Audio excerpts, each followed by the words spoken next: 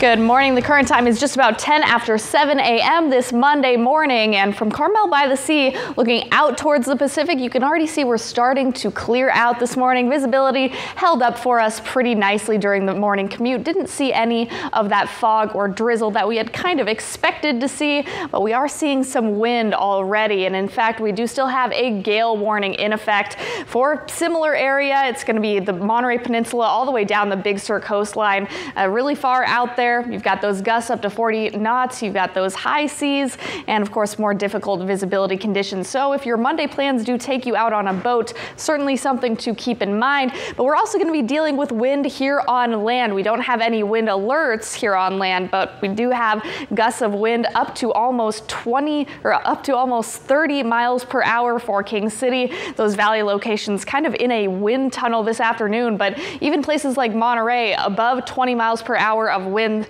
and it's going to be cool in Monterey with all of those winds kind of hitting the peninsula directly. You can see we don't make it quite out of the 50s for places like Monterey. We'll be here in the mid 60s in Salinas, mid to upper 60s for Santa Cruz, and a few remaining 70s down the Salinas Valley. But you might be glad to know that today will be the coolest day and it is all up from there. Have a wonderful day.